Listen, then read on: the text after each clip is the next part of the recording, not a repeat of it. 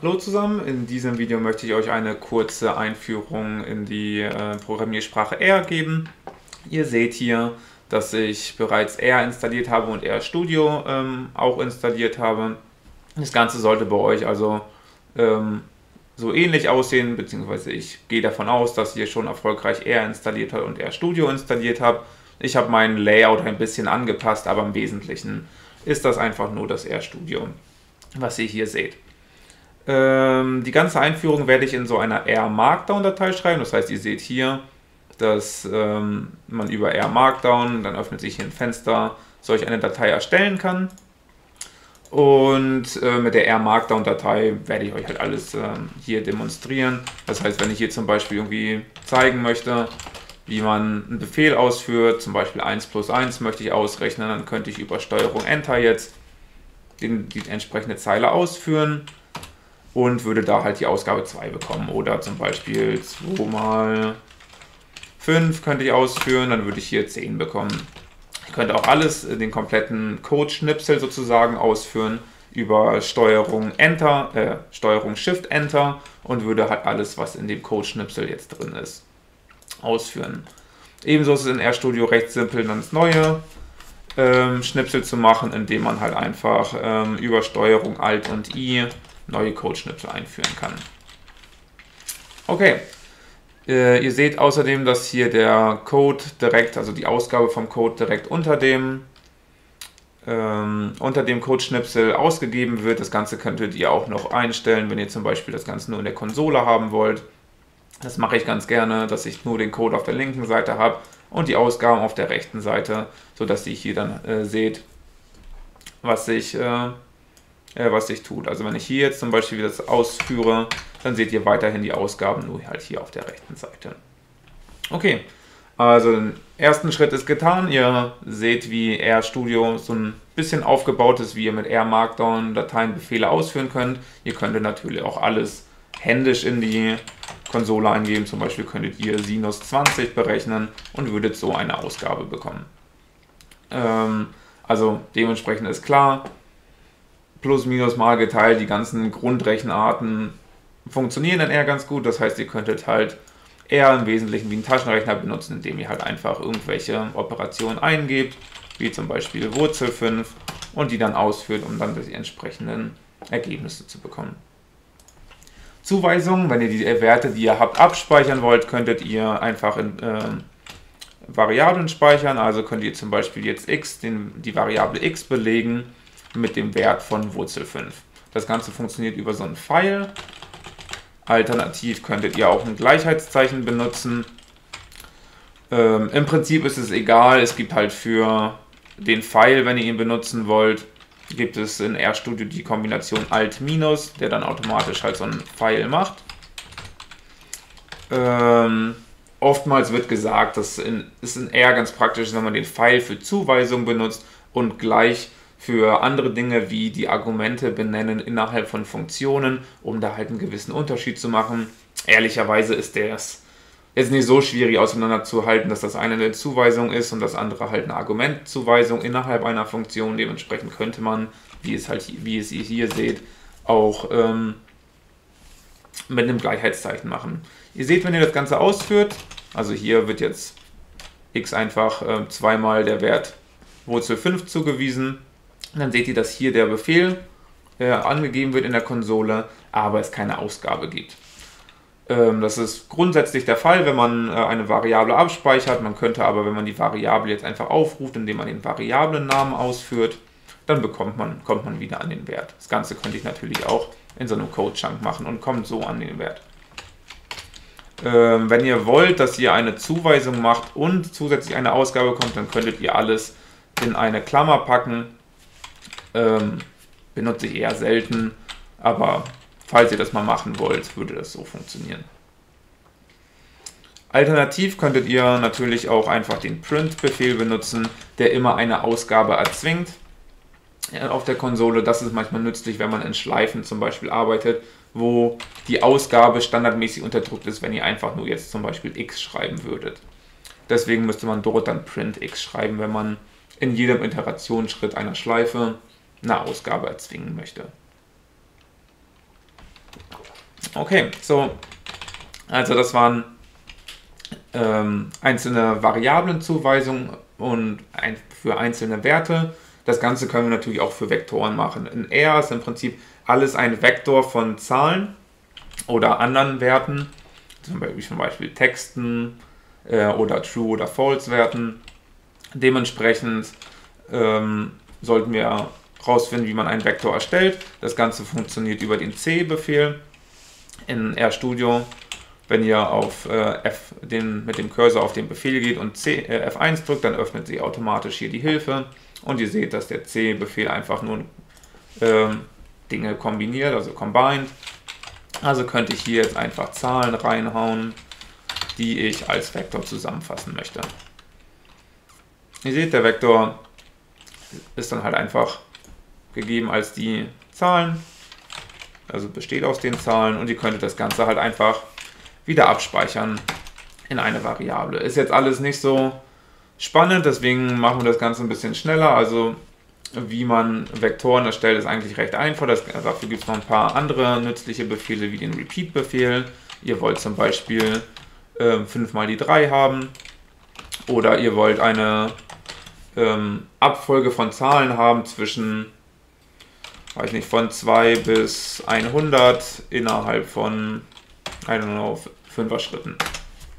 Dann würdet ihr hier sehen, dass der Vektor entsprechend so aussieht. Also das sind so die äh, einfachsten Möglichkeiten, um einen Vektor ähm, zu definieren. Und eine sehr nützliche Möglichkeit, wenn ihr zum Beispiel jetzt noch eine äh, Sequenz von Zahlen haben wollt, die immer um 1 höher gehen, zum Beispiel von 1 bis 5, da gibt es halt diesen Shortcut mit dem Doppelpunkt.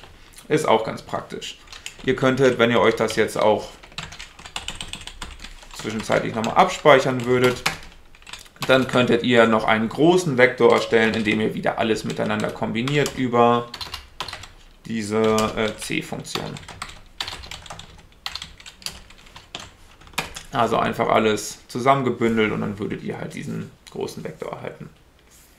Wenn ihr Zahlen miteinander addieren wollt, also wenn ihr Vektoren addieren wollt oder multiplizieren wollt, dann müsst ihr da ein bisschen aufpassen, weil standardmäßig in R ist die elementweise Multiplikation gemeint. Definieren wir uns mal jetzt einen zweiten Vektor, der, der die gleiche Länge hat wie x ähm, und ein bisschen anders aussieht als x. Dann könnten wir x plus y addieren und ihr seht, das Ergebnis ist im Prinzip einmal die, die 1 und die 2 addiert in der, ersten, äh, in der ersten Komponente und das gleiche in der zweiten, dritten und vierten Komponente. Ist also wie normale Vektoraddition. Für Vektormultiplikation funktioniert das genau gleich. Das erste Element von dem einen Vektor multipliziert mit dem ersten Element von dem zweiten Vektor und so weiter. Das ist natürlich jetzt nicht echte Vektormultiplikation, äh, wie ihr es vielleicht aus der linearen Algebra oder so kennt, aber ähm, ähm, hier ist es halt eine elementweise Multiplikation, was der Standard ist bei R. Ebenso, ähm, also man könnte eine ähm, Matrix-Multiplikation oder eine Vektor-Multiplikation erzwingen, indem man das Malzeichen in so Prozentzeichen steckt.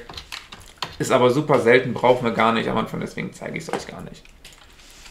Und falls wir mal einen Vektor haben, und auf einzelne Elemente darauf zugreifen können, dann funktioniert das ganz gut mit so eckigen Klammern. Also da könnte ich jetzt irgendwie eine Zahl 1 eingeben oder eine Zahl 5. 5 gibt es nicht, deswegen zeigt er mir hier jetzt äh, nur eine Number an. Und ich kann das Ganze auch noch ähm, mittels Vektoren machen. Also ich kann quasi ein Vektor von Indizes geben, die ich ha haben möchte. Sagen wir, ich möchte irgendwie die vierte Komponente, dann die zweite Komponente und dann die erste Komponente ausgegeben haben. Dann kann ich das mit so einem Vektor übergeben. Also das hier ist ja wieder ein Vektor, der halt 4, 2, 1 enthält. Und wenn ich mir dann halt x an genau den Stellen auswerten möchte, dann mache ich das über die eckigen Klammern. Okay, das ist also sozusagen die absoluten Basics über Vektoren. Ich möchte da gar nicht so intensiv drauf eingehen, weil ähm, der Teil jetzt nicht so der spannende Teil ist. Was wir in R oder grundsätzlich in datengetriebenen Berechnungen machen, ist, wir arbeiten mit Tabellen. Irgendwie, ihr kennt den Klassiker Excel, das ist im Prinzip ein riesiges Tabellenkalkulationprogramm und das gleiche oder noch viel mehr können wir in R machen und dafür ähm, gibt es super praktische Funktionen, eben dieses Tidy, äh, aus diesem Tidyverse Package, wovon ich jetzt ausgehe, dass ihr es installiert habt.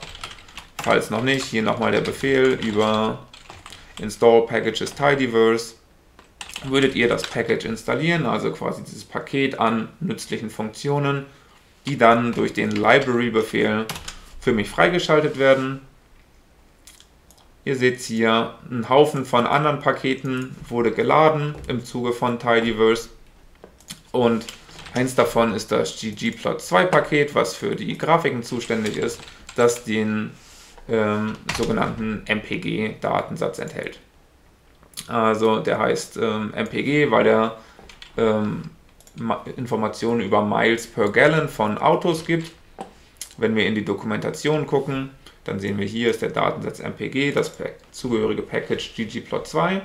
Das heißt, wir wissen, von dort kommt dieser Datensatz, dieser Tabelle, die wir hier in der Konsole sehen.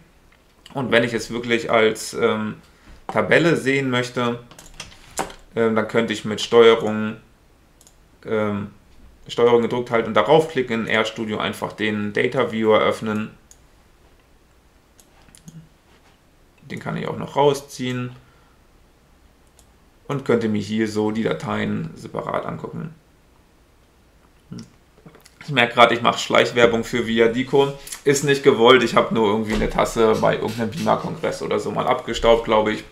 Daher habe ich die. Ähm, seht es mir nach, dass es äh, jetzt nicht als Werbung gedacht ist.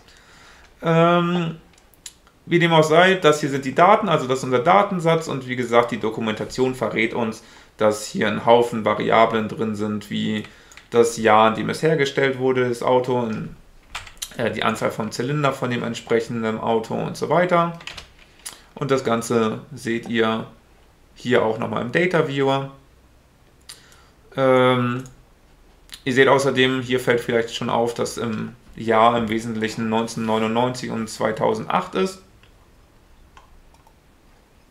Das liegt daran, weil der Datensatz halt eben gerade den Unterschied der Modelle zwischen 1999 und 2008 angucken möchte. Okay, das ist der Datensatz, den wir visualisieren wollen und das Ganze wollen wir mit dem Grafikpaket ggplot machen. Und das funktioniert so, indem wir ggplot ähm, aufrufen. Das ist die Grundfunktion. Und der Hilfe sehen wir, das erste Argument davon ist ein Data-Argument. Das heißt, es braucht einen Datensatz. Also könnten wir schreiben, Data ist gleich MPG. Und ihr seht, okay, hier öffnet sich jetzt im Plotfenster etwas, aber ihr seht, da passiert genau gar nichts.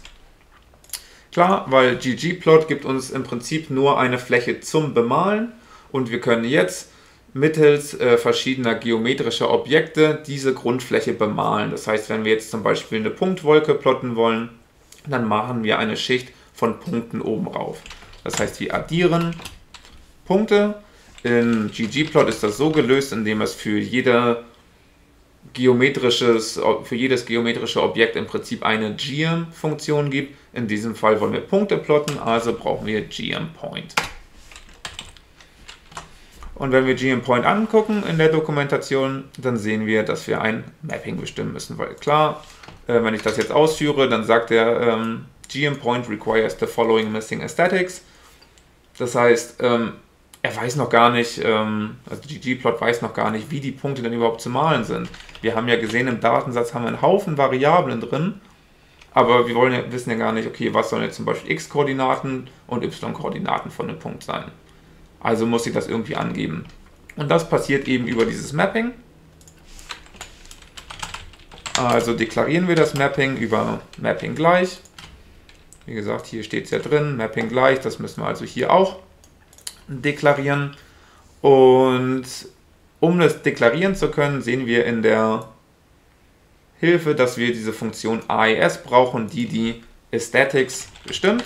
Aesthetics sind im Prinzip die visuellen Komponenten, die wir in einem äh, Graph sehen. Das heißt, wir haben hier den Datensatz und wir wollen zum Beispiel irgendwie, dass der Datensatz zum Beispiel, dass irgendwie, was möchte ich plotten, Displacement, also der Hubraum, die Werte der x-Achse bilden. Das heißt, ich muss diese Zahlen auf das Aesthetic, auf das visuelle äh, Objekt x-Achse mappen. So ist im Prinzip ähm, der Gedanke dahinter. Das heißt, ich muss sagen, okay, das x ist static. Wir sehen in der Hilfe hier unten, dass GM Point auf jeden Fall x und y braucht. Deswegen ist es fett markiert und der Rest lassen wir erstmal ähm, gut sein, aber da wir, könnten wir theoretisch noch viel mehr ähm, äh, viel mehr äh, Aesthetics bestimmen. Wir wollen jetzt erstmal nur x und y bestimmen. Das heißt, die x-Achse soll jetzt mein Displacement sein und die y-Achse soll HWY sein, was die, wenn ich in den Datensatz gucke, ist das der Hubraum und HWY ist die Highway Miles per Gallon. Also der Verbrauch auf ähm, ähm, in Miles per Gallon auf dem Highway. Das Ganze gibt es auch noch ähm, in der Stadt, klar auf dem Highway, Autobahn und Stadt ist natürlich andere, anderer Verbrauch, deswegen gibt es die zwei Variablen unterschiedlich. Und ihr seht, nachdem ich das jetzt ausgeführt habe, ähm, erscheint auch tatsächlich ein Plot. Ihr seht, unsere, sozusagen unser leeres Bild wurde bemalt, indem halt ein äh, Achsen generiert wurden, die wurden entsprechend beschriftet und jede einzelne Zeile in unserem Datensatz hier drin wurde ausgewertet, indem halt ähm, die Displacement-Variable und die Highway-Variable jeweils auf die x- und y-Achse gemappt wurden. Das heißt, die Zahl, die wir in dem Datensatz sehen, sehen wir jetzt als visuelle Komponente hier in dem GG-Plot. Und das Ganze ähm, funktioniert im Prinzip gleich für jede beliebige Art von geometrischen Objekten. Wenn wir jetzt zum Beispiel Linien hinzufügen wollen, dann machen wir ähm, einfach eine GM-Line-Schicht dazu. Wir addieren eine weitere GM-Line-Schicht. Was mir dabei gerade auffällt, wenn wir diese ähm, Schichten hier addieren, quasi aufeinander schichten, dann müssen wir zusehen, dass das Pluszeichen am Ende der Zeile steht. Weil dadurch weiß halt er, okay, am Ende von dieser Zeile kommt noch was, weil nach einem Plus kommt für gewöhnlich noch irgendwas, was darauf addiert werden soll. Dementsprechend äh, muss das Plus dort hinten sein. Wenn wir es nämlich nicht ausführen, äh, dahinter packen, dann denkt ggplot, ja okay, der Befehl ist jetzt in dieser Zeile, ich soll ja nur diese Zeile ausführen, ist irgendwie ähm, vollständig. Okay, das ist halt das leere Bild. Wow.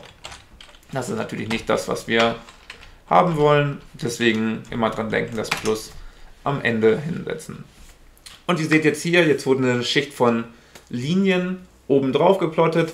Auch hier wurden im Prinzip Punkte geplottet, so wie ihr es hier seht, und die wurden miteinander verbunden. Ist natürlich kein schönes Bild jetzt in diesem Fall, ähm, aber soll einfach nur verdeutlichen, äh, dass hier eine zweite Schicht von äh, Linien oben drauf geschichtet wurde. Wenn ich das jetzt zum Beispiel die eine Zeile auskommentiere mit den Punkten, äh, mit so einem Hashtag-Zeichen, dann ist das halt ein Kommentar, dann sehen wir, dass jetzt nur die Linien haben. Das heißt, so kann ich halt äh, verschiedene Grafiken erzeugen, indem ich halt die sogenannte ähm, Grammar of Graphics äh, befolge, die einfach nur, äh, die im simpelsten Fall besagt, dass halt ein Bild durch verschiedene Schichten von geometrischen Objekten erzeugt wird. Okay, was ich hier jetzt auch noch feststelle, ist, dass ich einen Haufen von äh, duplizierten Code habe. Das heißt, ich habe zweimal das gleiche geschrieben, was beim Programmieren wenn es geht, vermieden werden sollte. Dementsprechend ähm, wäre es ganz gut, wenn wir hier irgendwie nur einmal diesen Teil haben und in hier das im Prinzip komplett loswerden würden. Und das Ganze funktioniert in ggplot ganz einfach, indem wir es halt einfach in der ersten initialen ggplot-Schicht ähm, definieren und dann wird dieses Mapping an alle weiteren Schichten ähm, vererbt sozusagen. Ihr seht das Bild hat sich dadurch nicht verändert, es kam auch kein Fehler hier in der Konsole. Dementsprechend ähm, ja, können wir auf diese Art und Weise Dinge vererben. Jetzt könnten wir natürlich in, der in den einzelnen Schichten könnten wir immer noch individuelle Dinge tun. Wir könnten zum Beispiel sagen, okay, die Farbe der Punkte soll rot sein und die Farbe der Linien soll blau sein. Das ist wahrscheinlich eine ganz schreckliche Farbwahl, aber prinzipiell könnten wir das machen. Wir könnten auch sagen, okay, mach die Linie noch ein bisschen dicker, erhöhe die Size auf 2. Jetzt sind die Punkte gar nicht mehr sicher, also machen wir die Punkte noch größer. Okay, das ist tatsächlich echt hässlich geworden, aber ihr erkennt, der, ähm, der Syntax ist klar, hoffe ich. Was gemeinsam ist, wird oben deklariert, was unten ähm, in den einzelnen Schichten drin steckt, ist schichtspezifisch.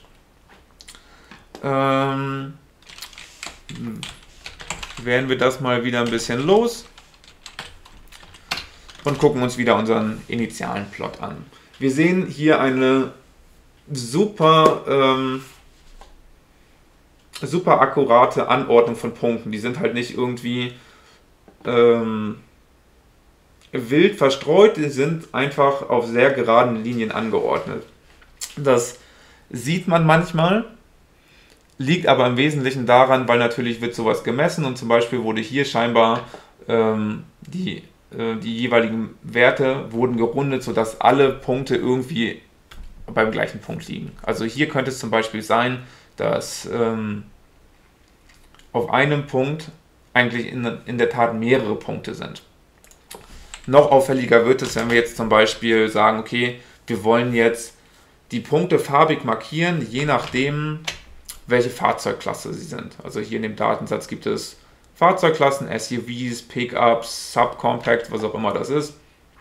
Aber die Klassen gibt es halt und wir wollen jetzt gucken, gibt es da vielleicht Unterschiede. Manche, vielleicht sind die eine Klasse nur hier und die andere Klasse komplett dort. Ähm, lass uns doch einfach alle Punkte farbig markieren, um sie dann ähm, ähm, um sie dann halt besser sehen zu können. Und das funktioniert, indem ich halt sozusagen das Color Aesthetic bestimme, indem ich sage, innerhalb der Aesthetic-Variable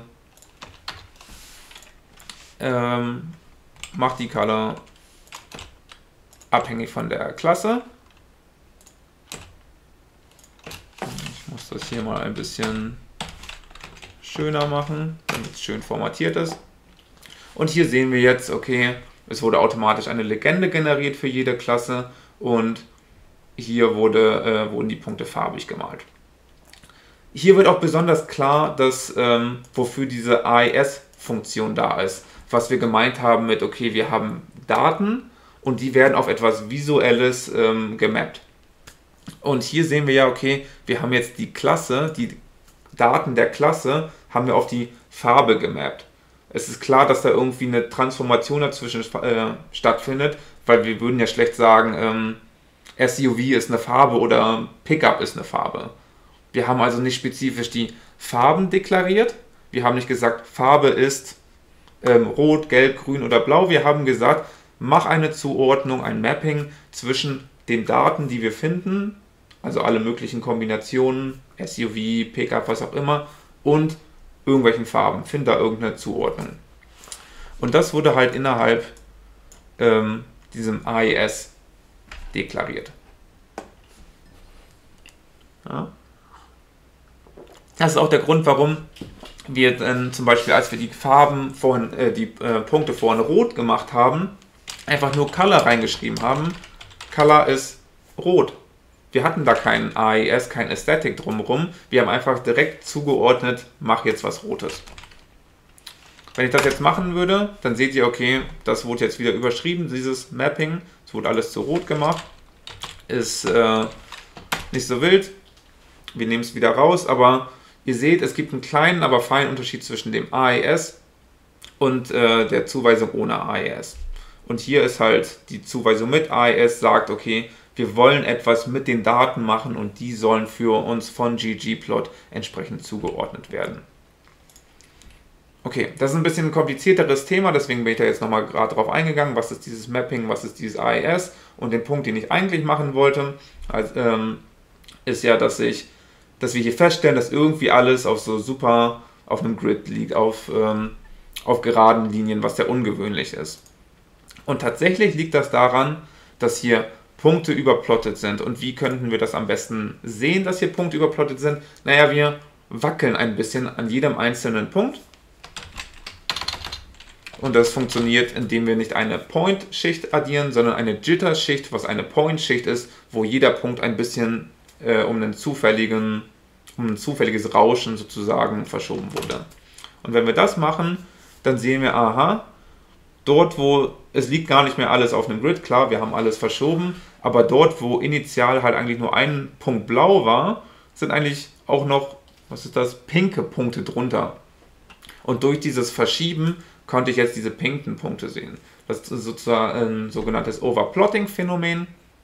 Und mit so einem zufälligen Rauschen können wir das Ganze ein bisschen äh, lesbarer machen. Okay.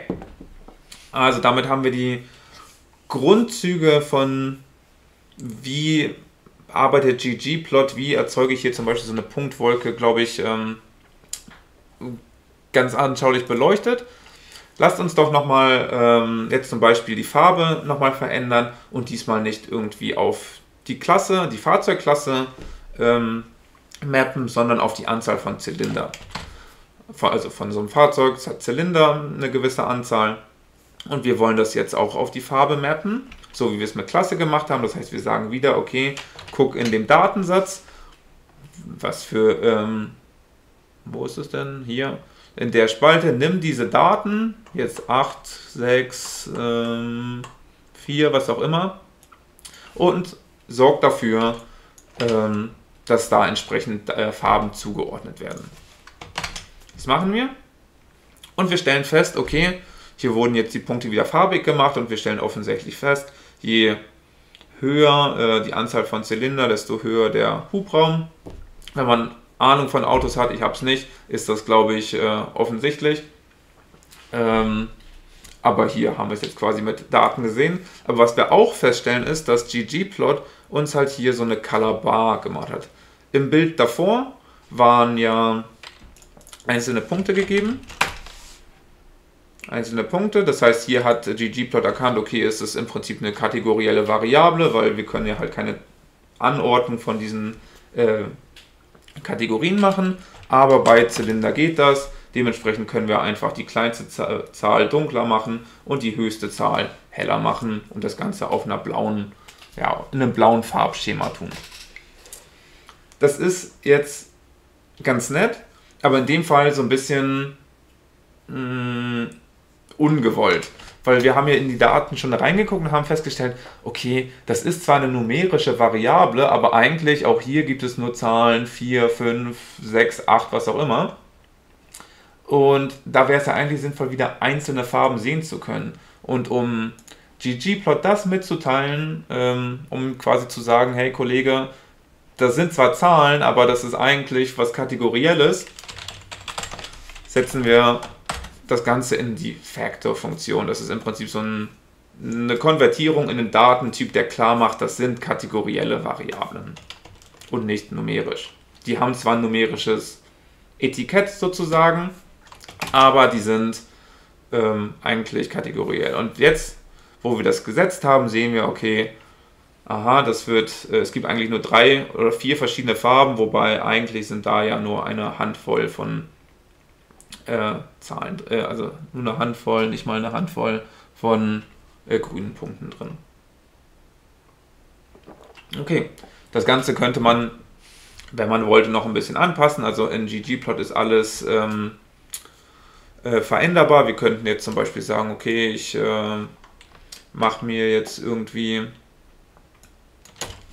ähm, also bevor ich es customize oder nochmal anpasse, sollte ich vielleicht nochmal, äh, sollten wir diesen Plot verändern. Also ich möchte jetzt nicht diesen Plot verändern, sondern ähm, möchte einfach nur zeigen, wir können die gleiche Variable noch, äh, nochmal verwenden. Also wir haben jetzt hier zweimal HWY verwendet.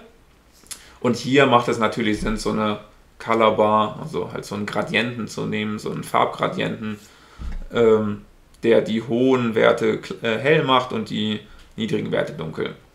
Aber wie gesagt, das ist das, wo ich eigentlich hinaus drauf wollte. Wir könnten alles noch irgendwie anpassen über so eine zusätzliche Schicht zum Beispiel. Das ist einfach nur jetzt mal, um euch zu demonstrieren, was ggplot noch ein bisschen mehr kann. Also ich erwarte nicht, dass ihr das jetzt ähm, könnt danach, aber ich, ja, ich möchte halt nicht irgendwie nur bei den absoluten Basics bleiben. Hier könnten wir zum Beispiel den, äh, wenigstens die Farbwahl ein bisschen ähm, anpassen. Wir könnten sagen, die hohen Werte sollen dunkelgrün sein und die äh, niedrigen sollten rot sein. Und ihr seht, das Ganze ist jetzt ein bisschen ähm, ähm, bisschen farblich ansprechender, so ein bisschen klischee-mäßig jetzt das Rot, eine niedrige Highway Mileage, also man braucht, man schafft nur wenige Miles pro Gallon. Ähm, bedeutet also, man muss viel tanken und das ist natürlich böse. Dementsprechend haben wir es hier so ein bisschen klischee-mäßig rot gemacht. Und wenn man ganz weit kommt, wenn du ganz wenig Sprit, dann ist man super gut. Deswegen habe ich es grün gemacht und deswegen sind die Punkte grün geworden. Also, Punkt ist hier einfach, mit ggplot kann man super viel ähm, verändern äh, und anpassen.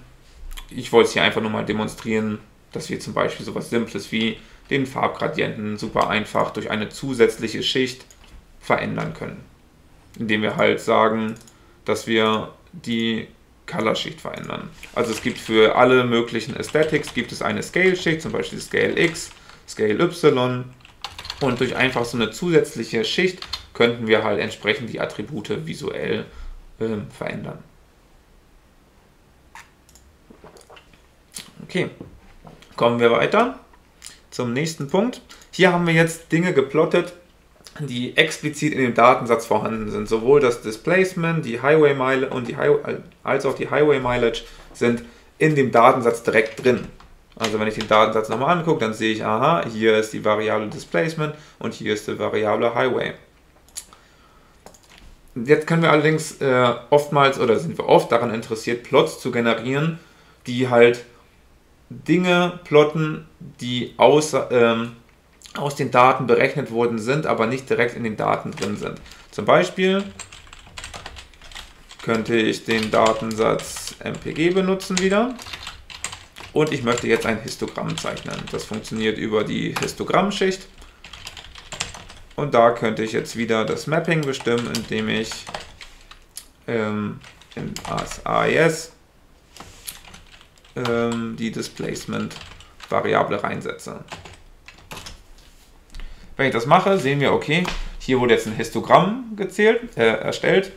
Wie funktioniert das Ganze? Naja, so ein Histogramm teilt, das, äh, teilt die komplette äh, Bandbreite von Werten, die wir haben, also in diesem Fall äh, die äh, Werte von Hubraum von, weiß nicht, 1,5 bis 8 oder so, ne, bis 7, nimmt diese komplette Bandbreite und teilt die in Boxen ein und zählt dann einfach, okay, ähm, also splittet das in Boxen auf und zählt dann einfach, okay, wie viele Punkte fallen in jede einzelne Box und das wird dann hier grafisch dargestellt. Je höher der Balken, desto mehr Punkte sind entsprechend in die Box gefallen. Das heißt, hier auf der Y-Achse wurden Dinge geplottet, die ich gar nicht angegeben habe. Ich meine, ihr seht es auch in meinem Mapping, ich habe mir nur x bestimmt und y habe ich generieren lassen. Und das Ganze ähm, zeigt halt, dass Geom Histogram halt für uns auch noch Dinge einfach berechnen können. Also ohne, dass wir halt irgendwas gemacht haben. Also ohne, dass wir es selber händisch berechnen können, äh, berechnen müssen. Wir können das Ganze noch ein bisschen äh, anpassen. Wir könnten zum Beispiel sagen, okay, ähm, in wie breite Teile wird dann eigentlich die, ähm, das Histogramm angepasst äh, oder eingeteilt. Ähm, das können wir einfach manuell festlegen. Wir sehen sogar hier tatsächlich, uns wurde eine Nachricht zusätzlich zu diesem Plot generiert, dass ähm, hier 30 Bins genommen wurden. Das heißt, die komplette Skala wurde in 30 äh, gleich große Teile äh, geteilt und so wurde halt gezählt. Wir könnten das natürlich aber auch noch manuell anpassen und sagen, so wie es hier vorgeschlagen wird, stell doch einfach die Breite einer einzelnen Box selber händisch ein. Und das könnten wir beispielsweise machen. Wir sagen, okay, wir wollen jetzt 0,5 haben. Oder machen wir mal 1,5. Ihr seht, die Balken werden jeweils breiter, weil klar, die Box wurde ja auch breiter. Aber jetzt stellen wir auch fest, dass ähm, es sicherlich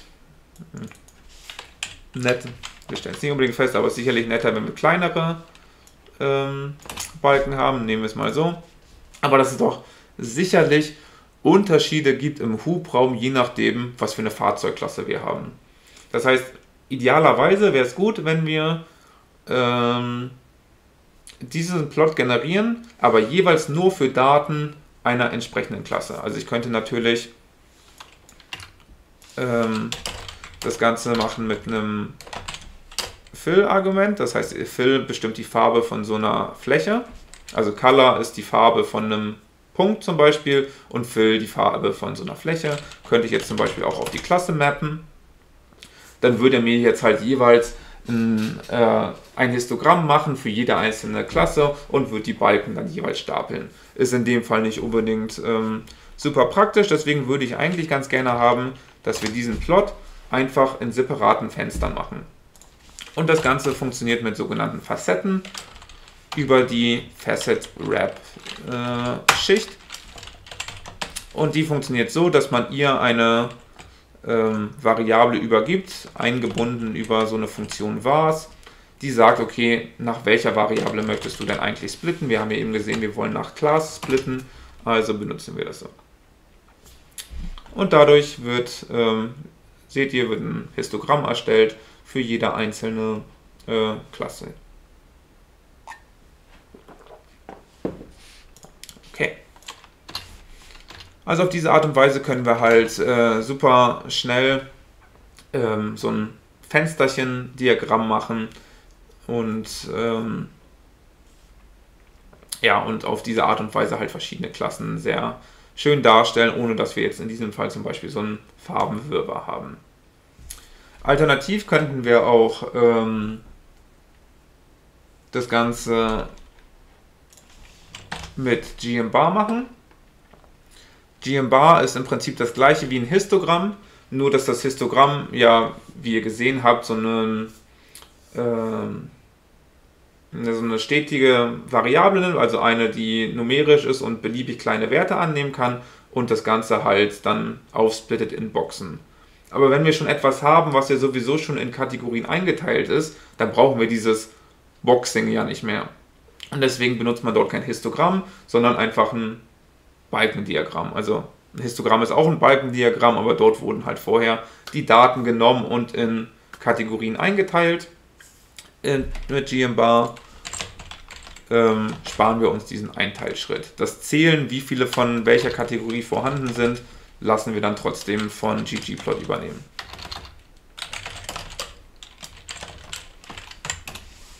Also, wir bestimmen wieder das Mapping für die Schicht gmbar und eine Variable, die wir haben wir ja schon gesehen, die kategoriell ist, auch wenn sie numerische Labels hat, ist Zylinder. Und wir wollen das Ganze jetzt hier nochmal farbig machen, deswegen benutzen wir Fill Class. Und ihr seht jetzt hier, okay, jetzt wurde wieder alles übereinander gestapelt, was wir in diesem Fall vielleicht ein bisschen ungünstig finden. Deswegen könnten wir das, ähm,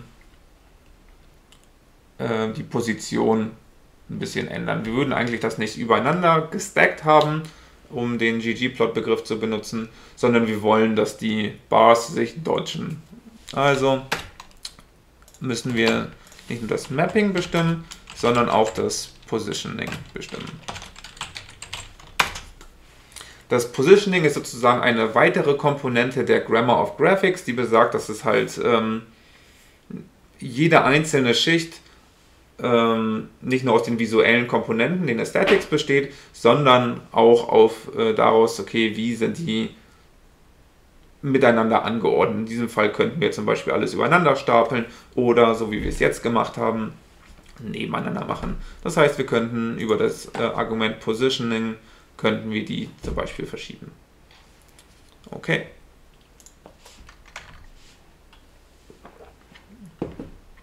Dann wollen wir noch ähm, eine weitere Klasse von Balkendiagrammen kennenlernen, nämlich GM Call, weil das führt oftmals zu Verwirrung, wenn ich jetzt tatsächlich einen Datensatz habe, wo ich ja nicht selber irgendwie zählen muss, also ihr seht, hier wurde Count genau, wurde wieder Count gestellt, das heißt wurde für uns gezählt, wie viele SUVs mit sechs Zylindern gab es, okay, irgendwie 16 Stück oder so. Aber wenn ihr schon einen Datensatz habt, der irgendwie beispielsweise schon enthält, okay, von Automarke Volkswagen gibt es 10 Autos im Datensatz. Wenn ihr sowas schon habt, dann würde GM Bar halt das versuchen irgendwie zu zählen und das wäre ein bisschen sinnfrei, weil es gibt da nichts zu zählen. Deswegen müsstet ihr in diesem Fall dann GM Call benutzen und machen wir das Ganze. Ich berechne uns mal schnell so den über ähm, äh, berechne uns mal kurz das Beispiel, äh, das ich eben genannt habe, nämlich wie viele, ähm, wie viele Autos von beispielsweise Volkswagen gibt es. Und das kann, kann ich für jeden berechnen über die Count-Funktion, nämlich indem ich sage, okay, nimm den Datensatz MPG und zähle jeweils die Manufacturer, weil das die Variable ist, in der halt die ähm, Hersteller gespeichert sind. Und wir sehen, hier wird uns jetzt entsprechend für jede Marke gezählt, wie viele, ähm, wie oft diese, äh, diese Marke vorkommt. Das speichern wir einfach mal in der Variable Anzahlen an und können uns das dann wieder plotten.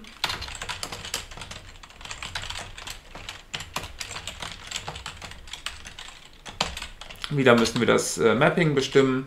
Wenn wir jetzt nicht jedes Mal Mapping gleich schreiben wollen, dann können wir es auch einfach lassen, weil gmcall weiß, als allererstes kommt immer das Mapping. Das heißt, wenn ich jetzt nicht Mapping gleich schreibe, sondern einfach gleich was reinhacke, dann wird es erkennen, okay, das soll zu Mapping gehören. Also gut, nehme ich das halt so hin.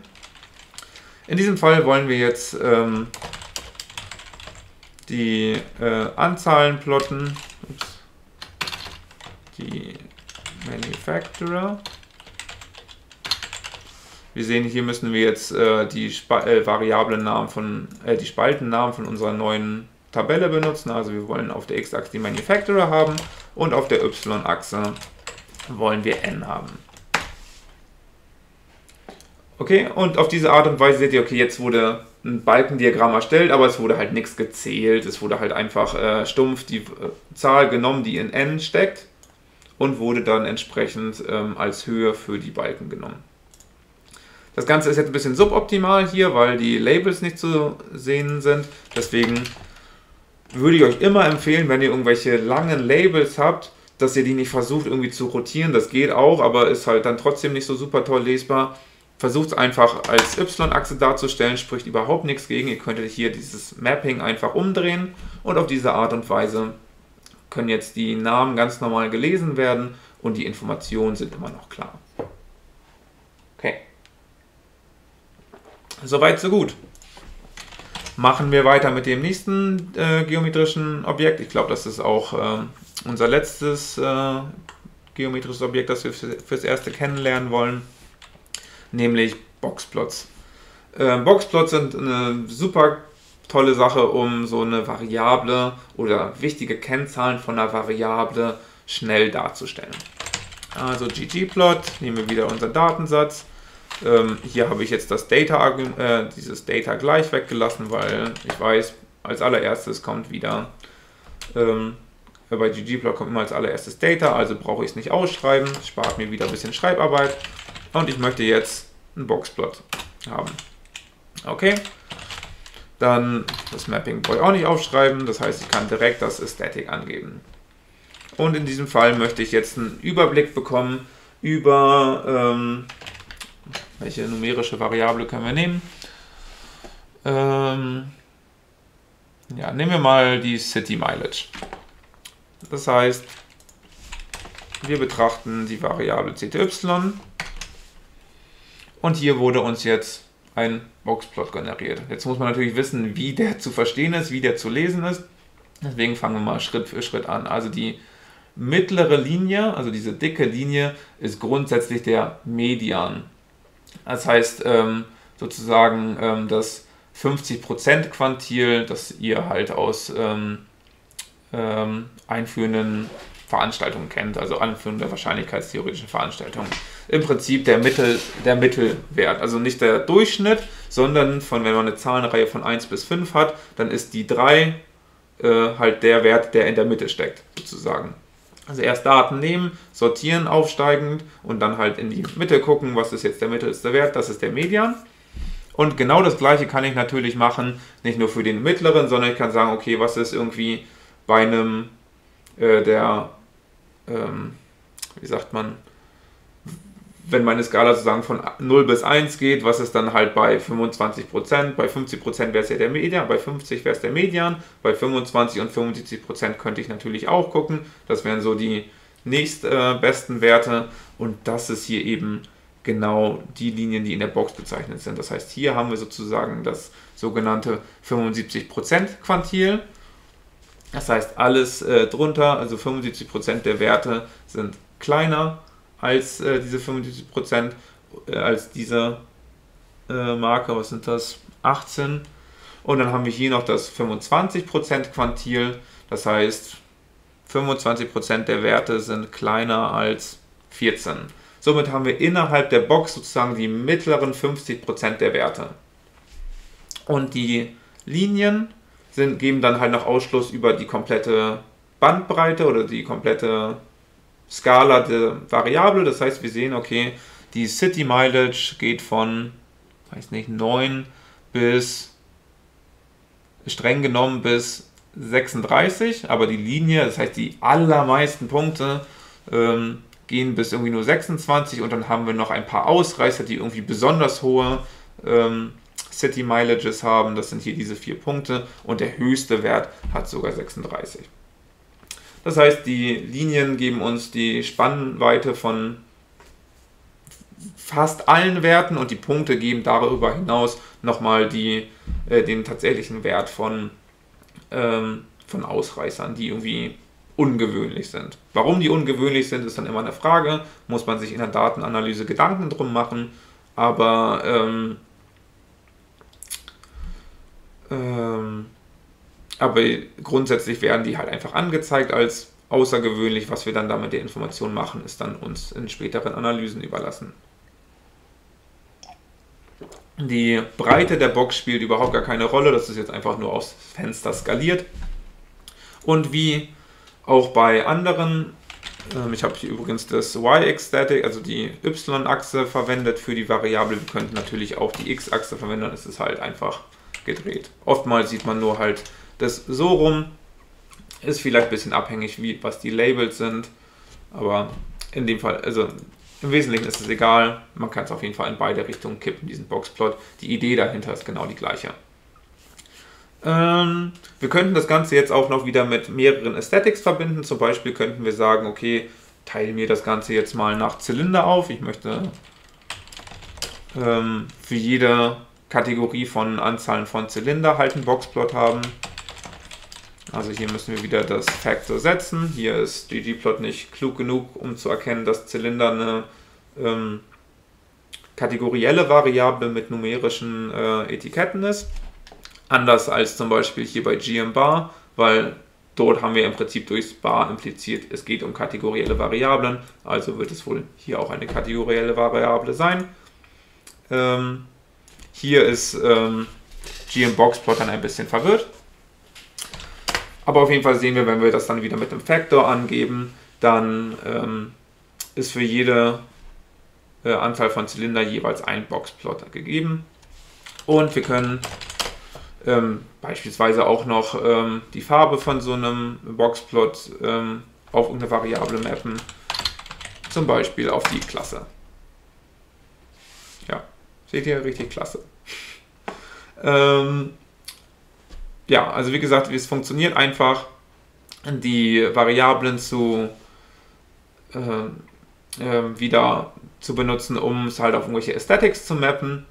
Im Wesentlichen ist der Syntax überall gleich, nur dass wir halt äh, die, die entsprechende geometrische Schicht geändert haben und auf diese Art und Weise ähm, halt ein anderes Bild erzeugt haben indem wir hier jetzt Boxplots statt zum Beispiel Punkten verwendet haben.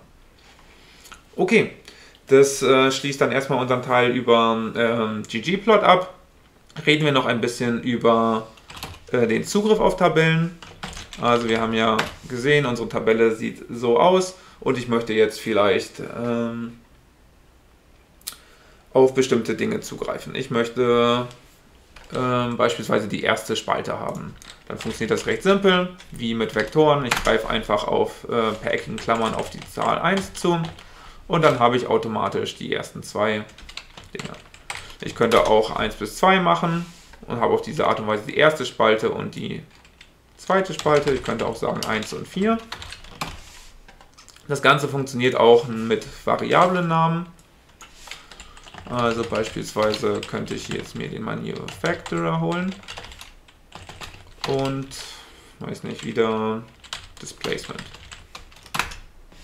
Dann bekomme ich genau die zwei Variablen.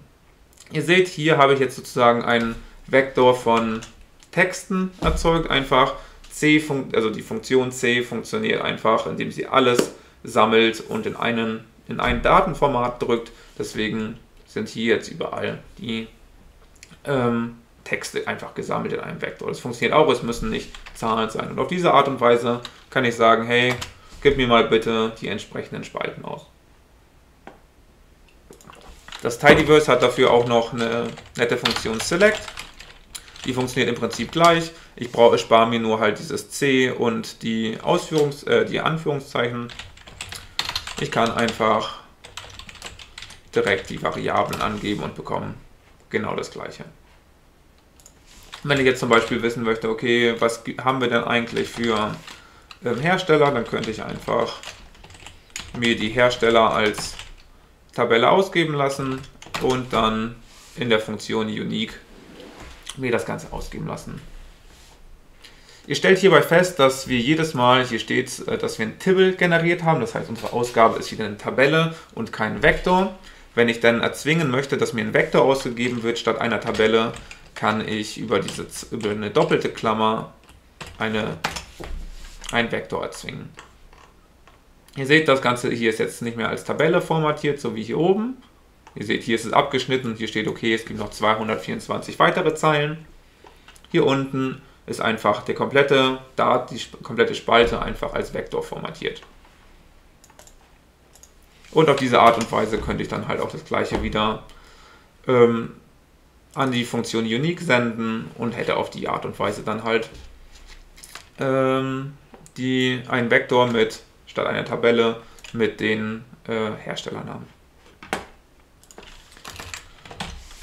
Genauso gut kann ich auch ähm, auf einzelne Zeilen drauf zugreifen oder auf einzelne Zellen. Zum Beispiel, wenn ich jetzt ähm, die erste Zeile, zweite Spalte angucken möchte, ähm, kriege ich hier halt so eine Mini-Tibble, eine 1 Kreuz 1 Tabelle ausgegeben. Also Tibbles sind immer Tabellen. Ich hoffe, ich habe das bisher schon dazu gesagt. Falls nicht, wisst ihr es jetzt. Und mit einer zweiten Klammer kann ich wieder erzwingen, okay, ich möchte einen Vektor haben. Dann würde ich halt ein einzelnes Element rauspicken. Genau, ansonsten funktioniert alles analog.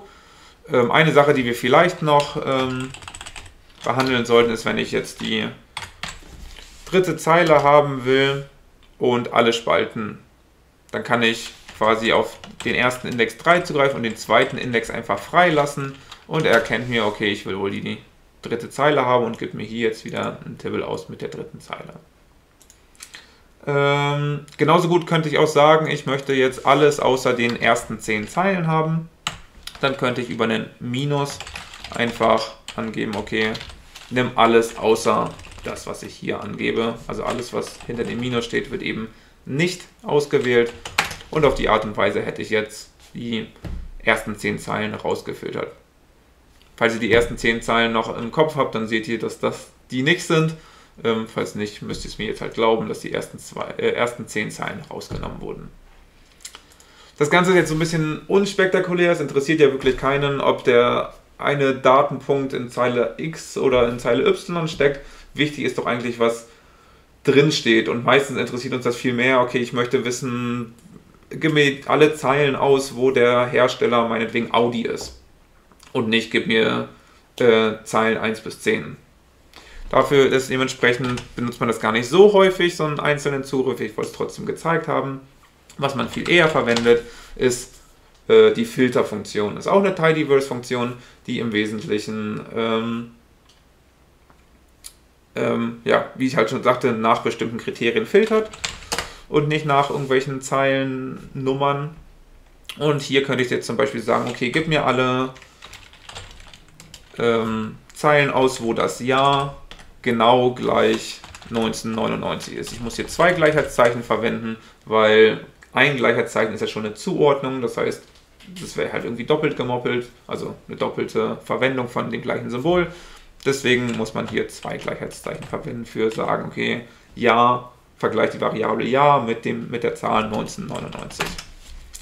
Haben wir gemacht und hier sehen wir jetzt, okay, jetzt wird uns ein Tippel generiert, der nur das Jahr 1999 enthält. Genauso gut könnten wir uns das äh, abspeichern, irgendwie MPG 99 und wir könnten das gleiche, wenn wir wollten, äh, noch für 2008 machen. Wir wissen ja, das sind die zwei äh, die zwei Jahre, die im Wesentlichen davor kommen und dann könnten wir das so auf die Art und Weise abspeichern. Ich mache das jetzt einfach mal, weil ich bin mir ehrlich gesagt gar nicht sicher, ob ähm, ich das nochmal brauche. Ich weiß auf jeden Fall, in meinen Notizen habe ich es mir so abgespeichert. Okay, es gibt noch eine äh, Möglichkeit zu filtern, indem man halt den Standard R-Syntax benutzt. Der, der würde dann halt True- oder False-Werte benutzen. Also eine Möglichkeit, um noch auf Spalten zuzugreifen, um es sich als Vektor ausgeben zu lassen, ist das Dollarzeichen. Zum Beispiel könnte ich mir jetzt das Jahr ausgeben lassen. Ihr seht in der Konsole, okay, jetzt wurde mir halt die Spalte als Vektor ausgegeben. Und ich könnte das nehmen und auch direkt vergleichen. Zum Beispiel ist gleich 1999. Dann seht ihr, okay, jetzt habe ich für jede dieser Zahlen hier, habe ich ein True oder False zurückbekommen, falls die Zahl tatsächlich 1999 ist. Und das könnte ich jetzt verwenden als Indikator dafür, welche Zeilen genommen werden. Nimm alle Zeilen, in denen True steckt, also in denen äh, das Jahr 1999 ist. Und das könnte ich quasi auf die Art und Weise könnte ich die gleiche Filterung, die ich da eben gemacht habe, verwenden, indem ich auf den äh, Datensatz zugreife und die Zeilen entsprechend angebe als nimm dort, wo true drin steht und gib mir alle Spalten aus. Auf die Art und Weise könnte man das auch machen. Ist, finde ich, nicht ganz so handhabbar und intuitiv wie filtern. Okay, ich sehe, da wurde gefiltert äh, anhand dem Funktionsnamen. Ähm, deswegen würde ich euch empfehlen, das hier erstmal zu verwenden. Die Funktionen sind halt immer noch praktisch zu wissen, wenn halt Filter mal, also diese Filterfunktion mal an äh, die Grenzen stößt. Aber für das, was, äh, was in den meisten Anfängerkursen gemacht wird, reicht Filter halt auch. Und ist einfach intuitiver und einfacher zum äh, Lernen. Okay, als nächstes möchte ich mit euch ein paar Standardaufgaben durchgehen, die ähm, oftmals in so Anfängerkursen, eher Anfängerkursen ähm, gefragt werden. Und da gibt es wie immer viele Möglichkeiten für, wie man so etwas löst, wie das halt beim Programmieren immer ist. Ich möchte euch die, meiner Meinung nach, einfachste Variante vorstellen, die aber zeitgleich auch noch ähm, gut lesbar und intuitiv ist. Also was meine ich damit? Fangen wir mal an mit der Aufgabe, also eine klassische Aufgabe wäre zum Beispiel, wie viele Audis aus dem Jahr 1999 sind in dem Datensatz enthalten. Das heißt, wir müssten hier irgendwie filtern, zusätzlich noch irgendwie nicht nur das Jahr 99 reinbringen, sondern auch noch die Marke Audi und müssten das Ganze dann ähm, irgendwie diesen äh, zählen, wie viele Zeilen es da gibt. Wie auch immer. Ähm, das Ganze lässt sich wie gesagt, auf verschiedene Arten und Weisen machen. Wir könnten zum Beispiel sagen, okay, wir filtern erstmal. Wir nehmen das hier. Bei Filter ist es ganz einfach, wenn ich noch eine Bedingung hinzuschmeißen soll, die auch erfüllt sein soll, also halt nicht irgendwie oder, sondern und. Mit einem und verknüpft werden soll, dann schreibe ich die einfach noch mit dazu. Und in diesem Fall soll dann, wir wollen ja Audi angucken, soll Audi sein. Das heißt, okay, hier kriege ich jetzt ein, äh, äh, ein Table raus und wir sehen, okay, es gibt hier offensichtlich neun Zeilen. Das heißt, es gibt neun Audis aus dem Jahr 1999. Die Frage ist, wie komme ich jetzt äh, per Programmieren an, die, an diese Zahl 9. Naja, ich könnte mir zum Beispiel den irgendeine Spalte äh, rausziehen, zum Beispiel äh, Modell. Ist im Prinzip egal, was drin steckt. Wichtig ist ja einfach nur, okay, wir sehen hier, der Vektor hat eine Länge 9 und das könnten wir jetzt messen. Wir könnten jetzt die Länge von diesem Vektor messen über den Length-Befehl und würden jetzt 9 bekommen.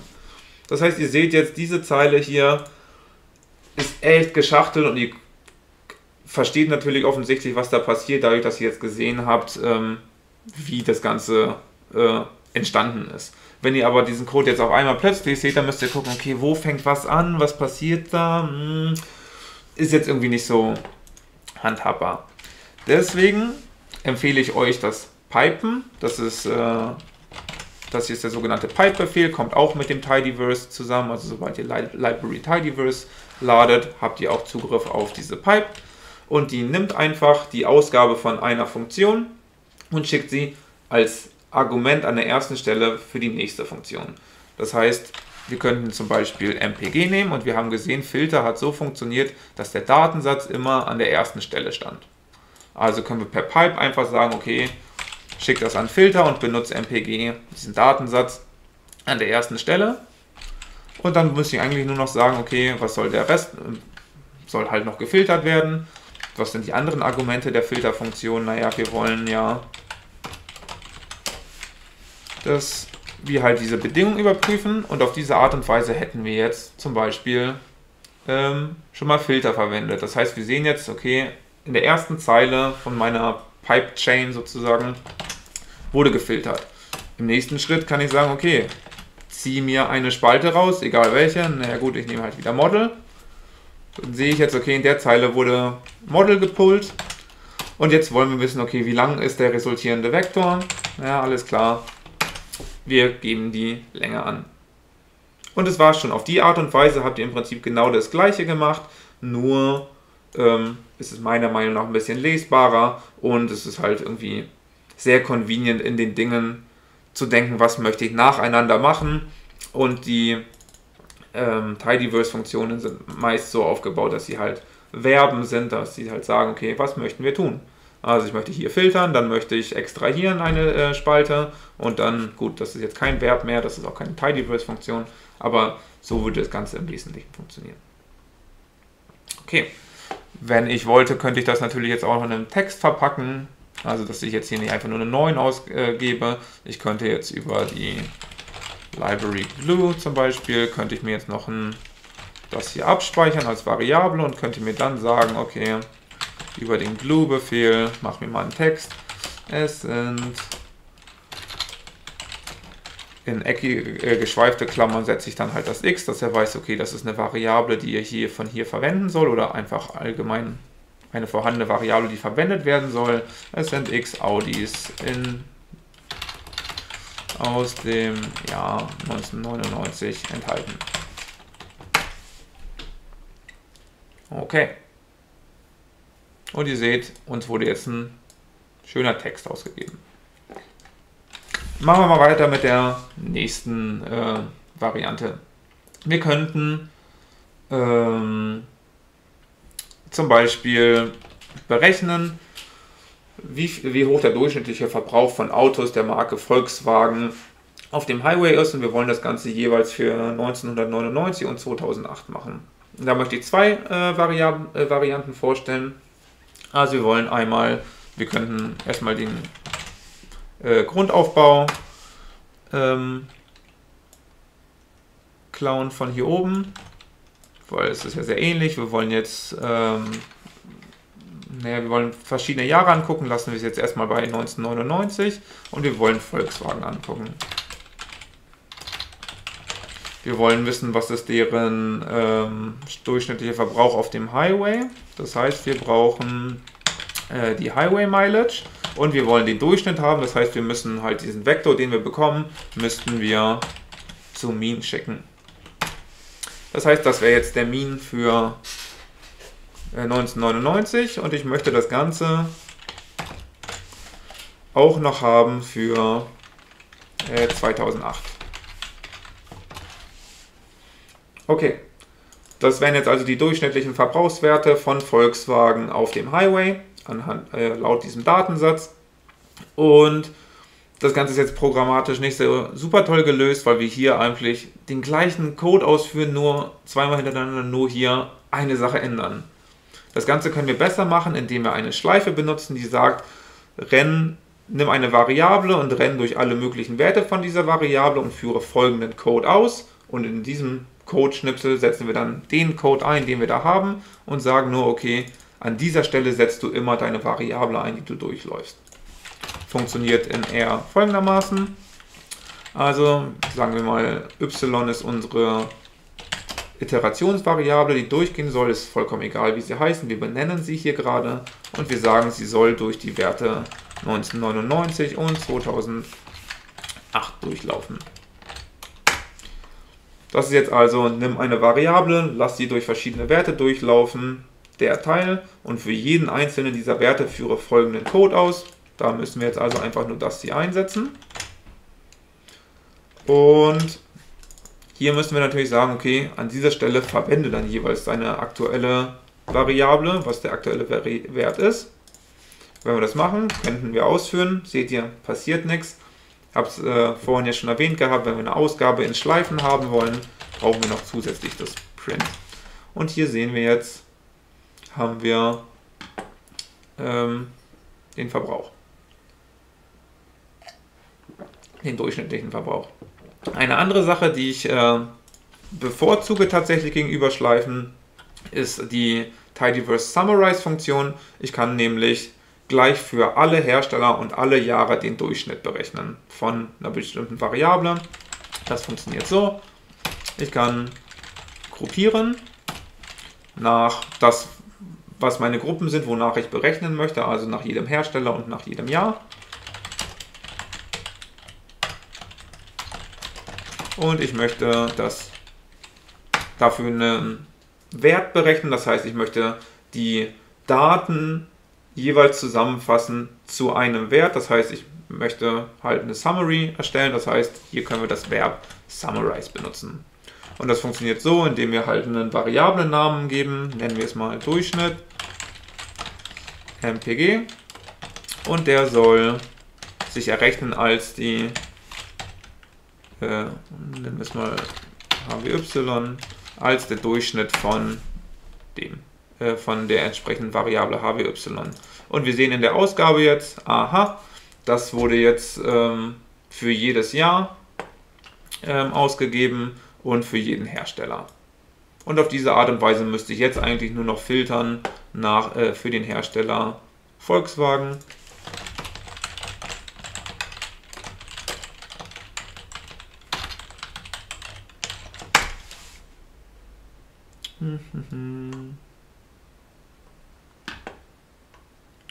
Was ist passiert?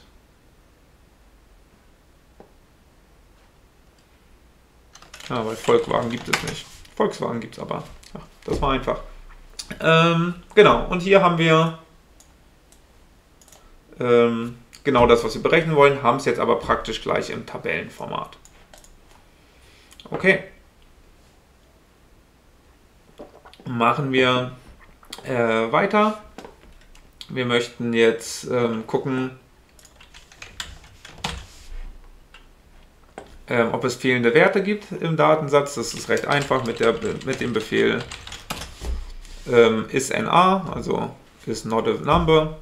Und dann kriegen wir jetzt hier in der, äh, in der Konsole, seht ihr, ganz viele Werte rein. Für jeden einzelnen Eintrag ähm, von der Tabelle kriegen wir jetzt einen True oder False raus, je nachdem, ob der Wert fehlt oder nicht. Das ist natürlich jetzt ähm, nicht so super ergiebig, was da für, äh, was die Tabelle uns ausspuckt, aber wir können das Ganze hier an die Summe schicken, Summenfunktion schicken, die interpretiert dann false als 0, true als 1 und wir sehen, dass es 0 Werte gibt. Jetzt könnten wir das Ganze auch noch in einen schönen Text verpacken. Wir könnten das hier wieder abspeichern als Variable und über glue könnten wir sagen, es gibt x fehlende, Variable, äh, fehlende Werte. Und tada, wurde uns das ausgegeben. Wenn ich jetzt aber möchte, dass ähm, der Text sich anpasst, je nachdem, ob es jetzt keine gibt, dass dann da nicht steht, es gibt null fehlende Werte, sondern es gibt keine fehlenden Werte und das abhängig von äh, x ist, brauche ich irgendwas, um halt so eine Bedingung umsetzen zu können. Und das funktioniert in äh, R ganz gut mit if, nämlich indem man sagt, okay, if irgendeine Bedingung und dann führe das aus. In die Bedingung hier oben klatschen wir in diesem Fall rein, x soll größer 0 sein. Dann könnten wir hier reinsetzen, es gibt keine fehlenden Werte. Ansonsten, also else, if else, führe aus, ähm, eben es gibt x fehlende Werte. Wenn wir das jetzt ausführen, ups, ich sollte natürlich hier gleich 0 machen, sagt er mir, okay, es gibt keine fehlenden Werte, statt es gibt 0 fehlende Werte. Das ist jetzt einfach nur ein Beispiel gewesen, um euch if-Bedingungen zu erklären. Ähm, ähm, ist nicht besonders sinnvoll, also nicht besonders super hammer geil, was wir hier jetzt gemacht haben, aber die Funktionsweise von if-Bedingungen werden, denke ich, klar. Was wir auch noch machen könnten, wenn wir noch wenn wir mehrere Bedingungen haben, könnten wir zum Beispiel auch hier nochmal ein if hinsetzen, falls x größer 0 ist und falls das auch nicht zutrifft, dann mach, äh, gib den Text aus, I don't know, irgendwas. Der Fall sollte natürlich nicht eintreten, weil x kann nicht negativ werden, das heißt hier würden wir eh nie reinspringen. Okay, wir könnten das Ganze auch noch miteinander verbinden, also Vorschleifen, äh, die wir jetzt gelernt haben und if-Bedingungen könnten wir miteinander verbinden.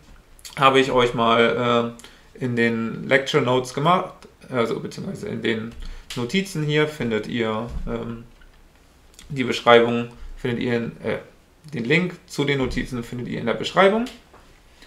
Und ähm, jetzt kommen wir noch zu dem äh, Befehl mutate, was auch ein super wichtiger Befehl ist im Tidyverse, um Tabellen zum Beispiel verändern zu wollen. Wenn ich jetzt zum Beispiel die Aufgabe lösen möchte, füge dem Datensatz eine zusätzliche Spalte äh, hinzu, die sich als der Durchschnitt von City Mileage und Highway Mileage äh, gibt, dann möchte ich ja eigentlich nur die City Mileage nehmen und die Highway Mileage hier nehmen und davon den Durchschnitt bilden. Also was mache ich?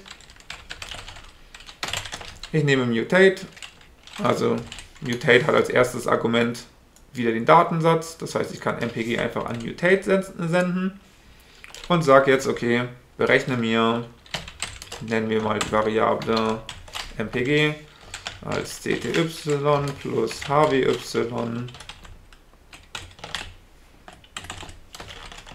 durch 2. Und schon seht ihr hier, es wird jetzt nicht angezeigt, also es wird nur angezeigt, es gibt eine zusätzliche Variable, nämlich MPG, die war vorher nicht vorhanden. Ihr seht hier, hier ist kein MPG drin, hier ist MPG drin, das heißt, wir haben dort jetzt einfach die Werte berechnet. Wir können es hier auch nochmal extrahieren, wenn ihr mir nicht glauben wollt. Ihr seht jetzt, aha, die ist da und das, die Werte hier sind gerade der Durchschnitt von jeweils Highway Mileage und City Mileage. Okay, wie man zählt, haben wir gelernt vorhin, als wir Anzahlen berechnet haben. Wir könnten das Ganze auch noch per äh, Summarize machen, weil wir da ja auch nehmen, gruppiere nach etwas und gebe eine Zahl aus, nämlich die Anzahl. Also könnten wir auch sagen Group by äh, Manufacturer und dann Summarize Anzahl ist gleich n. Und da habt ihr dann wieder die gleiche Tabelle von vorhin. Alright. Kommen wir noch abschließend zum Thema Daten einlesen. Wir ähm, möchten ähm, eine CSV-Datei einlesen. Die habe ich mal Zufallszahlen genannt. Die seht ihr hier. Ich weiß gar nicht, was passiert, wenn ich View-File mache. Ja, wird dann auch hier im Editor verwendet. Und ihr seht, das ist halt die, äh, eine mit Semicola getrennte Datei. Nicht so üblicherweise wie bei CSV-Dateien mit Komma, ähm, also mit Komma äh, getrennten Werten. Das liegt daran, äh, dass das, das halt in einem, Euro, in einem europäischen System erstellt habe, die CSV-Datei. Und dementsprechend ähm, dort Semikola statt Komma verwendet wird. Ist nicht so wild, für beides, also für beide Formen gibt es eine entsprechende Tidyverse-Funktion. Also dort können wir einfach read CSV verwenden. Äh, read CSV2 für die Semikola-Variante. Hätten wir eine Datei, die Kommata verwendet statt Semikola, würden wir einfach nur read CSV verwenden. Und dort müssen wir jetzt einfach nur den Dateinamen angeben. Da ich jetzt eine R Markdown Datei verwende und diese im gleichen Verzeichnis liegt wie meine Datei, die ich einlesen möchte, muss ich hier nicht den kompletten Pfad zu der Datei angeben, was sowieso ähm, nicht sehr sinnvoll ist, äh, einen kompletten äh, Pfad zu geben, weil er ja nur auf euer System äh, zugeschnitten ist und wenn ihr mal die Analyse oder was auch immer ihr macht, irgendwie anders schickt, dann wird er sicherlich nicht die gleiche Systemstruktur haben. Deswegen ähm, bietet sich an, halt einfach das zusammen in einem Ordner zu lagern, den dann zu verschicken und hier dann halt nicht statt dem ganzen Pfad einfach nur den Dateinamen anzugeben. Also in diesem Fall Zufallszahlen CSV. Read CSV und ihr seht, okay, hier wurde uns jetzt ein äh, Tibble generiert und den können wir uns abspeichern. Nennen wir das Ganze mal Zufallszahlen haben wir uns jetzt also in der Variable abgespeichert. Hier wird uns nochmal gesagt, was ähm, als Dezimalzeichen verwendet wurde und als ähm, Trennungszeichen für Tausender. Da das ja Euro, eine europäische, auf einem europäischen System erstellt wurde, seht ihr hier auch, hier wurde Komma für Dezimalstellen verwendet. Dementsprechend musste, kann man schon nicht mehr Komma zum Trennen von Werten äh, nehmen. Deswegen benutzt man da Semicola. Und hier wird uns halt einfach nur gesagt, okay, read CSV2 weiß, Komma, da sind Dezimalzeichen und Semikola sind Trennzeichen. Auf jeden Fall haben wir das Ganze jetzt drin und wir wollen jetzt das Ding nehmen und wir wollen jetzt für jede Kategorie, also wir sehen hier, hier in dem Datensatz sind Kategorien A, B, C, D drin, sind jeweils irgendwelche Zahlen drin, wollen wir einfach gucken, wie streuen diese Werte für jede Kategorie mappen wir das doch einfach ähm, ähm, zu einem äh, mit einem Histogramm oder mit einem Scatterplot. Also wir wollen die Verteilung so ein bisschen visualisieren. Machen wir mit ggplot, wie wir es vorhin gelernt haben. Einfach nur, um mit diesem Datensatz auch noch was zu machen. Nicht, dass wir es einfach nur geladen haben und dann ähm, nichts damit machen. Also wir nehmen Datensatz, schicken ihn an ggplot und wollen dann erstmal Punkte plotten. Point. Und jetzt müssen wir nur noch die Aesthetics mappen. Es gibt hier eigentlich ein Scatterplot, braucht natürlich zwei äh, Variablen x und y. Wir haben hier eigentlich nur eine Zahl, deswegen müssen wir da ein bisschen kreativ werden. Erstellen wir einfach manuell einen Vektor. Wir wiederholen einfach 1 bis die Länge von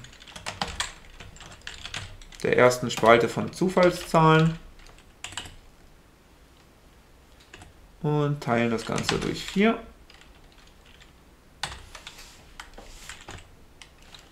Und wir machen alles viermal.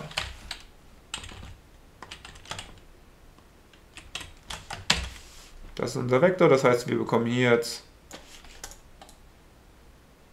wenn wir das mal ausführen, bekommen wir halt Zahlen bis 250, was halt genau die Länge der Länge entspricht, die wir brauchen. Äh, bis, äh, jeweils Zahlen bis 250 und insgesamt 1000 bzw. 40.000 Einträge. Hier wurde halt nicht alles geplottet. Also ist genau das Richtige für unseren Datensatz. Und dann können wir da die Zufallszahl ähm, hinterlegen als y-Aesthetic und die Farbe machen wir über Col oder Colors, egal was ihr schreibt, mappen wir zur Kategorie.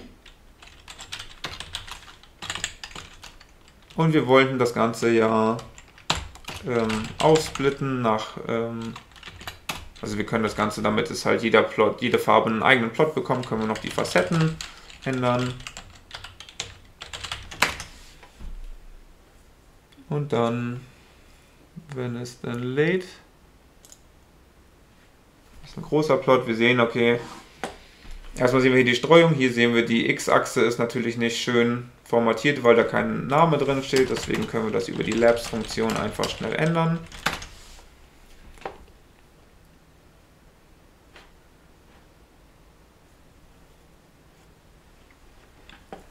Also wir sehen hier die Streuung, wir sehen, das streut so ein bisschen gleichmäßig um die äh, 0 rum, das Aus sehr gleichmäßig. Hier ist nicht so viel zu erkennen. Hier sehen wir allerdings schon mal, ähm, dass alles irgendwie positiv ist, also dass es gar keine negativen Werte geben kann. Das heißt, mit dem Histogramm können wir da vielleicht ähm, mehr sehen als hier, aber wir haben wenigstens schon für Kategorie C erkannt, okay, das sind keine negativen Werte. Also machen wir das gleiche nochmal. Histogramm. Also hier brauchen wir natürlich, haben wir ja eh nur eine Variable, deswegen ist das ganz praktisch. Also dementsprechend brauchen wir hier nicht so einen Stunt nochmal machen und manuell irgendeine Variable definieren. Also nimm die Zufallszahl, mach's farbig anhand von der Kategorie. Und ähm, gib uns wieder Facetten anhand der Kategorie. Ah, hier habe ich aus Versehen die Pipe verwendet statt einem Plus. Das äh, passiert äh, sehr schnell. Das ist ein so häufiger Fehler, dass die Fehlermeldung das sogar fragt. Hat man vielleicht das gemacht? Ein klassischer Fehler. Okay, wir sehen, das ist jetzt nicht so der schönste Plot. Wir könnten hier jetzt noch die Bin-Width vielleicht ein bisschen anpassen. Mal 0,3. Und das sieht auch schon mal ein bisschen interessanter aus. Also das hier sieht doch aus wie eine Exponentialverteilung, das sieht aus wie eine Gleichverteilung und die zwei sehen irgendwie normal verteilt aus. Vielleicht ist eins davon die Standardnormalverteilung und das andere die äh, äh, eine andere Normalverteilung. Wir können das Ganze auch nochmal in einem Boxplot angucken. Machen wir das Ganze mal. Ähm, wir nehmen das gleiche. Da brauchen wir allerdings keine Facetten.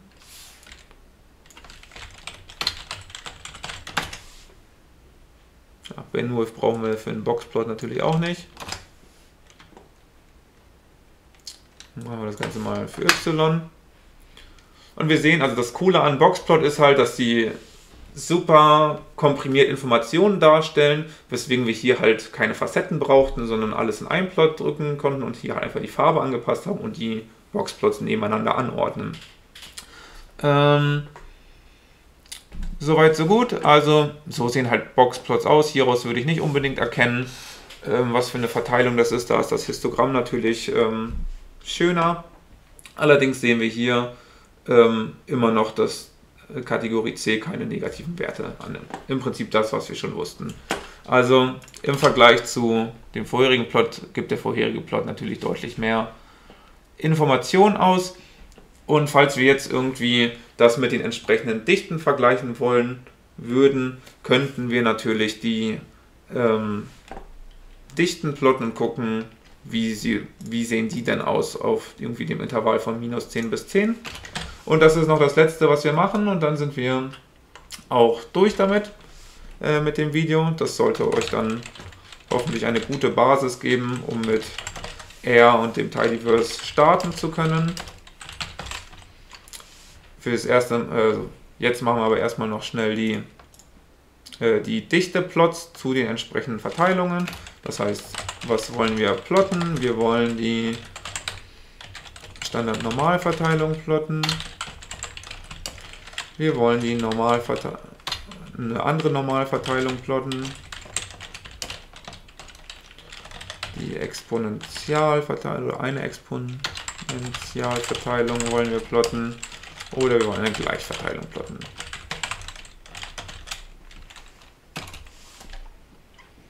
Okay, dann können wir noch ein, äh, ein Tibble erstellen, indem wir die Werte, die, äh, die Funktionswerte von der Dichte jeweils speichern. Erstellen wir erstmal einen leeren Tibble mit den Spalten x Verteilung und Dichte. Das heißt, der Tibble sieht jetzt so aus, er hat drei Spalten, ist ansonsten leer. Und den wollen wir jetzt über eine Vorschleife befüllen. Also das ist jetzt, was wir hier machen, ist nicht die geschickteste Variante, so ein Tibble zu erstellen, um ihn dann hinterher plotten zu können, also um die Funktionswerte hinterher plotten zu können. Aber ähm, um halt nochmal das alles äh, zu zeigen, was wir bisher gelernt haben, in eins zu packen, machen wir es jetzt auf diese Art und Weise. Ähm, intelligenter wäre es mit anderen Methoden zu tun, aber äh, für so ein Einsteiger-Video ist das äh, das Mittel zur Wahl. Also wir iterieren durch die Kategorien durch und dann gucken wir jeweils, okay, ist C jetzt ähm, entweder Standard-Normalverteilung. Dann sollen wir das eine machen. Oder ist C irgendwie Normalverteilung. Da machen wir irgendwas anderes. Und das wiederholen wir jetzt nochmal. Das brauchen wir nicht mehr. Und hier können wir noch Exponentialverteilung ersetzen. Das heißt, je nachdem, was für, in, was für eine Kategorie wir gerade stecken, wollen wir natürlich einen anderen Funktionswert berechnen von der Dichte.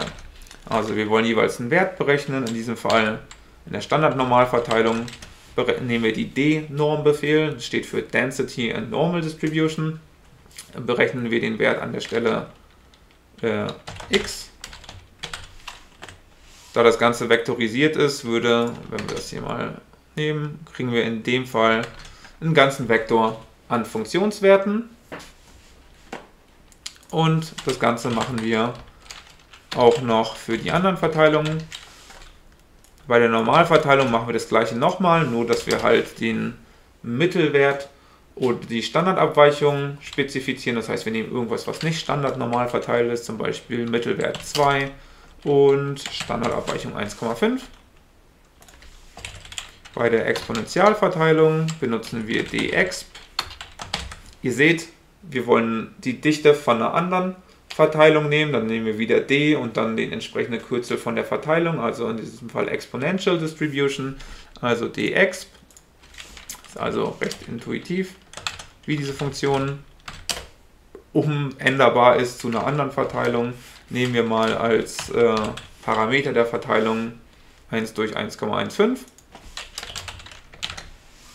und äh, als für die stetige Gleichverteilung nehmen wir mal, also hier wollen wir es ja wieder an der x-Achse auswerten, nehmen wir mal die Werte, wir sehen hier, die Gleichverteilung geht von minus 5 bis 5, also werden wir wohl als Minimum minus 5 nehmen und als Maximum 5. Bei den anderen Verteilungen hier die Parameter, die kann man natürlich nicht so einfach ablesen. Ähm, habe ich jetzt mal vorgegeben, habe ich geraten. Oder beziehungsweise ich weiß natürlich, welche Werte dahinter stecken, weil ich habe die Zahlen ja simuliert. Ähm, bisschen sneaky hier unterwegs. Und bezüglich den, diesen D-Norm-Funktionen lässt sich jetzt noch sagen, ähm, dass die natürlich auch noch änderbar sind, nicht nur zu anderen Verteilungen. Also wir könnten nicht nur dx oder d-unif machen wie Uniform Distribution, sondern wir könnten das auch jeweils noch zu der P-Variante, Q-Variante oder R-Variante umändern. Das äh, P ist dabei die, würde uns die Verteilungsfunktion an dem entsprechenden Argument liefern. Q würde uns das ein Quantil liefern. Also Q, Q-Norm 0,5 würde uns zum Beispiel den Median der Standardnormalverteilung liefern und R-Norm würde uns eine simulierte Realisation von der entsprechenden Verteilung liefern. Das ist die Art und Weise, wie ich am Ende diesen Datensatz äh, Zufallszahlen CSV generiert habe. Über R-Norm, R-Exp und R-Unif. Okay, das heißt in jedem Fall, ähm, je nachdem was C gerade ist, also unsere Iterationsvariable, berechnen wir also die Funktionswerte der, ähm, der Dichte. Und das können wir jetzt quasi einfach an unseren leeren Tibble anheften indem wir sagen bind rows. Und was kommt in bind rows rein? Naja, erstmal kommt der ursprüngliche Dichtenvektor äh, rein und ein Tibble, der halt die gleichen Spalten enthält wie der ursprüngliche Tibble. Das heißt, wir brauchen ein Tibble, der hat x, naja gut, da wird er die Werte x, äh, x-Axis haben. Dann brauchen wir, einen, äh, brauchen eine Spalte Verteilung. Naja, dort soll jeweils der Wert c reingeschrieben werden. R ist so clever, hier geben wir einen ganzen Vektor, hier geben wir nur eine, einen Wert an. R ist so clever und wird das Ganze dann auffüllen zu einem Vektor, der, der die gleiche Länge hat wie x-Axis, der jeweils, wo jedes Element mit dem entsprechenden Wert, mit dem einen Wert befüllt ist. Und in die Spalte Dichte kommt eben der, die Variable var rein, also der Dichtenwert, den wir eben berechnet haben. Wir speichern das mal als temporäre Variable ab. Das ist einfach irgendeine Damme-Variable, um das hier noch nicht mit reinzudrücken. Und können das über dann diesen bind-rows-Befehl einfach unten ran heften. bind-rows hat noch ähm, die Partnerfunktion bind-calls, also äh, bind-calls. Das äh, bindet äh, quasi Spalten einfach an so einen Tippel, an so einen, eine Tabelle an. Wenn wir das jetzt also so durchlaufen lassen, ja, Cats ist nicht bekannt.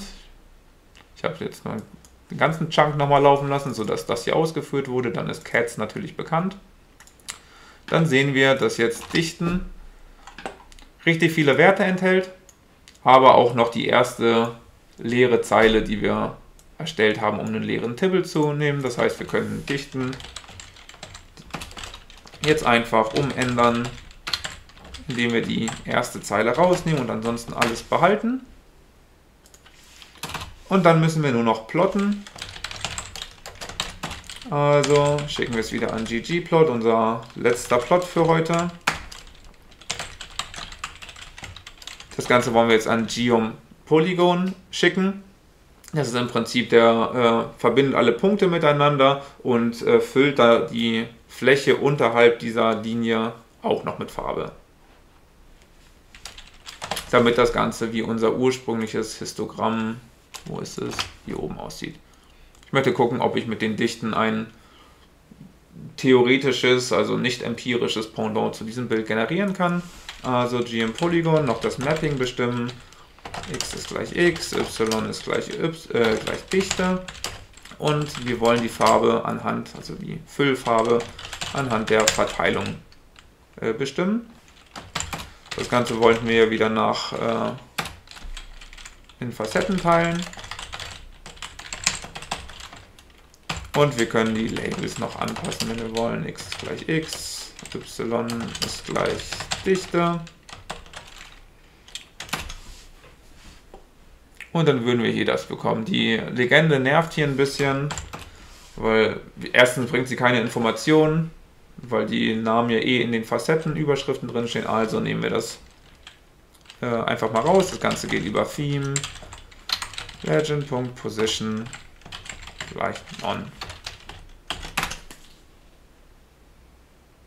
Und auf die Art und Weise haben wir uns jetzt ein äh,